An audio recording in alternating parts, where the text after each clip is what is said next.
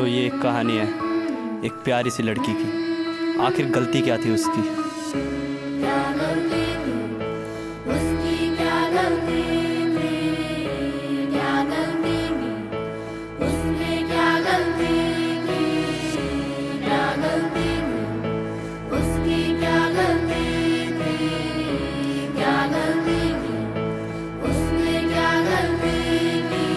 आगे थी वो सब में। पढ़ाई, खेल, विचार में ट्वेल्थ की मार्कशीट में उसके नंबर भी कमाल थे। खेल के मैदान में कमाए हर बार गोल्ड टैलेंटेड बहुत पर्सनैलिटी बोल्ड पूरे मोहल्ले में इमेज उसकी प्यारी।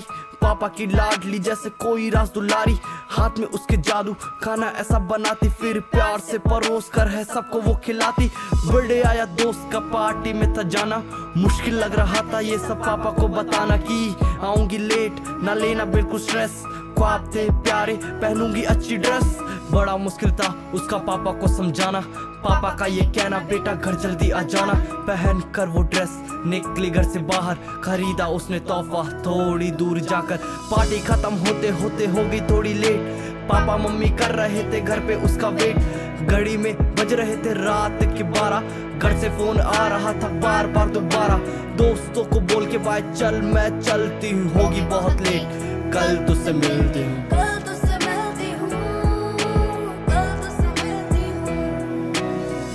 सुनाता हूँ आगे की मैं बात।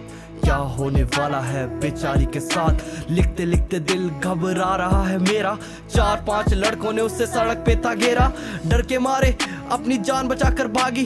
फिर भी उनके अंदर की इंसानियत न जागी। एक हैवान ने उसका हाथ पकड़ के खींचा। फिर सबने उसके जिस्म को बुरी तरह से नोचा। क्या गलती